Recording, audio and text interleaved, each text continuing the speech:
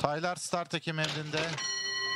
Start verildi. Koşuya 3 numaralı Detonator çıkıştan sonra bir boy kadar geride kaldı. Tekrar gruba katılıyor.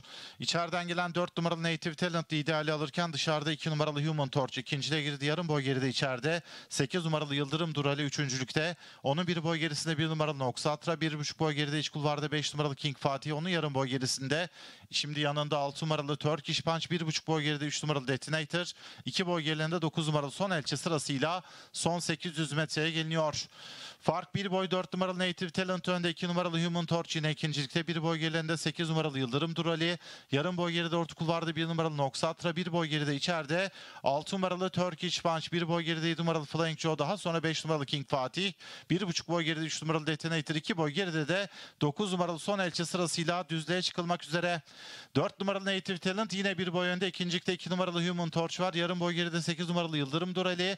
1,5 boy geride dışarıda 1 numaralı Noxatra içinde. 6 numaralı Turkish Punch içlerine 5 numaralı King Fatih geldi. Daha geride dışarıda da 7 numaralı Flying Joe sırasıyla son 400 metrede 4 numaralı Native Talent önde giriyor. Fark da 2,5-3 boya kadar çıktı. İçeride 8 numaralı Yıldırım Durali onun içinden 5 numaralı King Fatih dışlarından 6 numaralı Turkish Punch daha geriden Human Torch ve Flying Joe'nun çabaları var. Fark 3 boy kadar 4 numaralı Native Talent önde 7 numaralı Flying Joe daha geriden dışarıdan 9 numaralı son elçi geliyorlar. 4 numaralı Native Talent koşuyu kazanıyor.